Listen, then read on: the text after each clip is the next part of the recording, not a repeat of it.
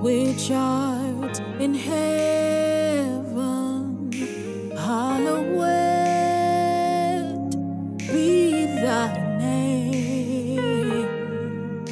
Thy kingdom come, and thy will be done on earth as it is in heaven.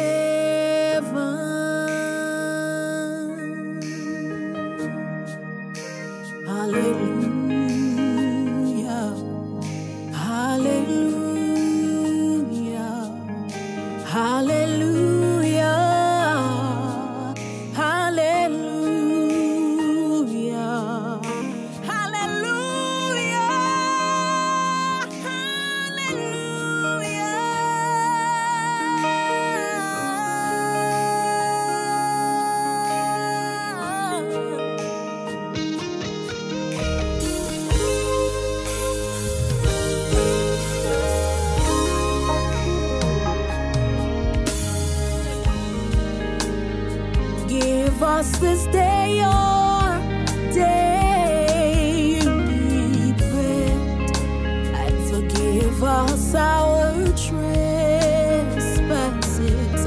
as we forgive those who trespass against us and lead us not into